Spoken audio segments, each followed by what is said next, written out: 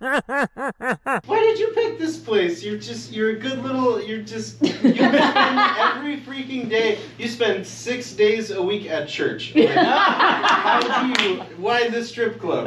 You're talking so much, you're missing Cindy. She's always. You put me in these damn slippers and this stupid dress, and all I want to wear is some sweats. I want to find me a man that just wants to sit in sweats. We can sit in sweats together. I don't need to wear a damn ball gown. I'm tired of these men. All they care about is the fancy stuff. I just want to smoke weed and watch football. Yes, Barbara. I absolutely love this car, Barbara. Well, Teresa, it's only five hundred dollars because it's the '80s, you know. I see.